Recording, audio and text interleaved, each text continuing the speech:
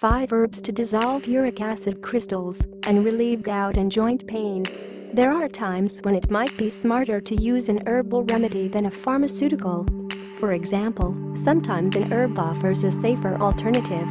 Devil's Claw Devil's Claw is tolerated well by the vast majority of those treating their gout by natural means, but be sure to talk with your doctor first, especially if you have ulcers, diabetes, high or low blood pressure, plant allergies, heart problems, are pregnant, could become pregnant, or if you a nursing mother.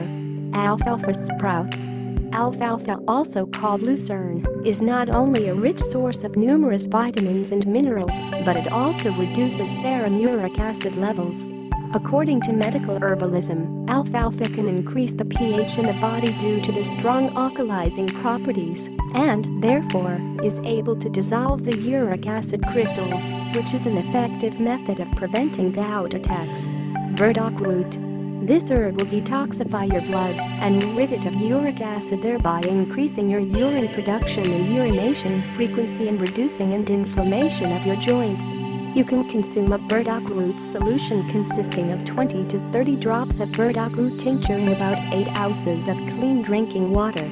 Take this solution 3 to 4 times daily and for a couple of days.